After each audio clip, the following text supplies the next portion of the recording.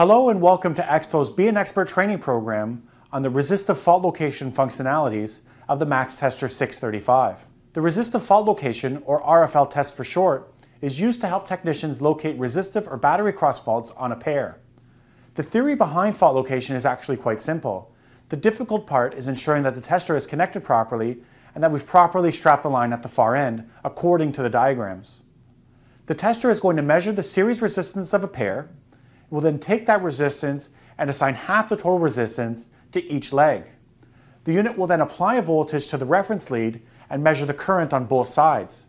Because there's a fault on one leg, the current test will not be equal. The ratio between one leg to the other is used to determine where along the cable your fault is located. There are two flavors of RFL tests, single pair and separate good pair.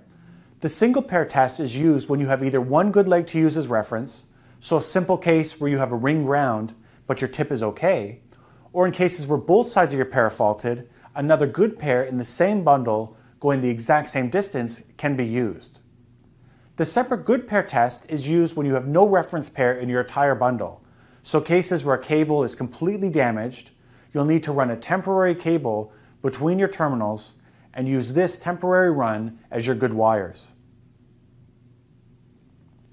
Putting this into practice, we'll take a 100 ohm resistor and place it from the ring to ground in the center of a 1000 foot cable.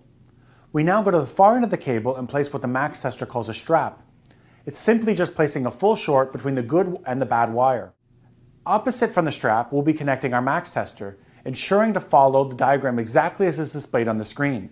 So for this test case, the black lead will be connected to the tip as it's the good wire, and the red lead will be connected to the ring as it's the faulted wire. And because our fault is to ground, we'll connect the reference lead to ground.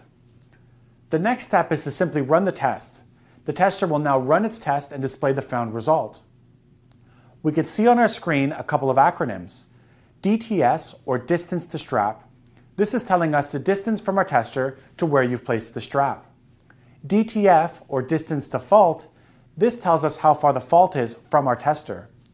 DFTS, distance from fault to strap, gives us the distance from our strap back to the fault. And then of course fault. This is actually giving us information on the actual fault. So in our test case, the same 100 ohms.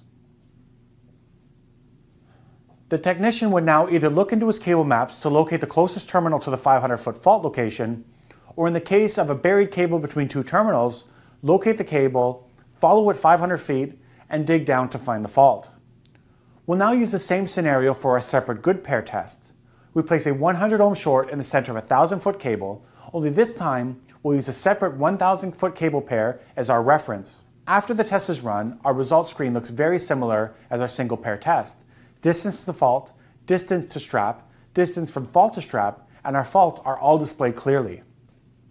For more advanced cases where your cable has a gauge change in the middle of your section, or you happen to know the exact distance of your span, the cable setup button at the top of the screen will allow you to enter this information. The unit will still be fairly accurate with nothing inputted, however if absolute accuracy is a must, like in cases where you would need to dig up a street or sensitive area, any extra information you can enter in the unit will make the result that much more accurate.